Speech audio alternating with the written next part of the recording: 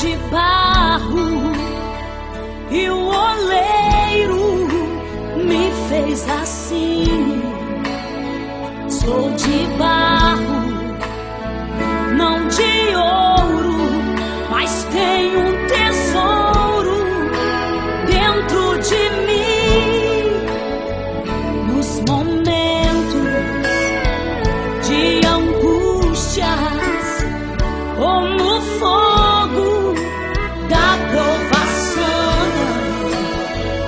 mas o